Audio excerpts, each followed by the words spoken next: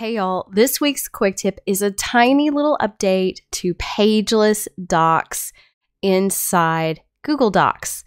Ah, look at that. If you want to pin this header, you now can. Let me show you how this works.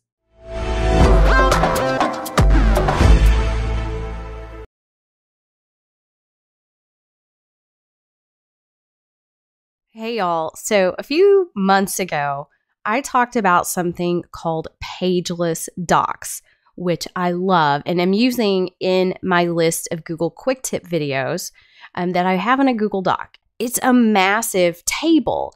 And if it had page breaks, it would just really make that table hard to understand. But one of the things that makes it even easier to use is that we can now pin the header row. Now, this table is not terribly complicated. It only has two columns, but this is something that many of you may be used to using inside Google Sheets as well, freezing that header row so that it stays with you as you keep scrolling. But now, if you are using a table inside Pageless Docs, you can pin the header of that row. So now when I scroll, that header stays right there and makes it so much easier to understand the information on the page.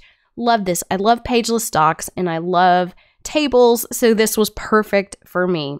If you like this tip, give me a thumbs up, ring the bell, and subscribe. And you know what? If you haven't already, hop on over to shakeuplearning.com and check out all the free resources we have there. Bye, y'all.